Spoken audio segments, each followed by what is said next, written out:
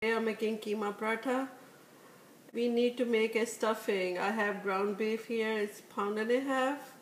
And uh, I'm going to chop up some fresh stuff, uh, onion, three onion, medium size, half of this bunch of cilantro, and an inch of uh, ginger. I'm going to chop up all this fresh stuff and the rest of the spices, uh, I'll let you know what we need to add as we go along.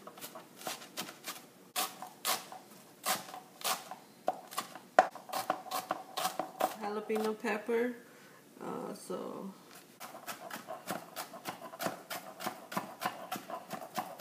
Two teaspoon of red pepper, two teaspoon of salt, one tablespoon of pomegranate seed, it's a powder, I crushed it up and a tablespoon of coriander powder.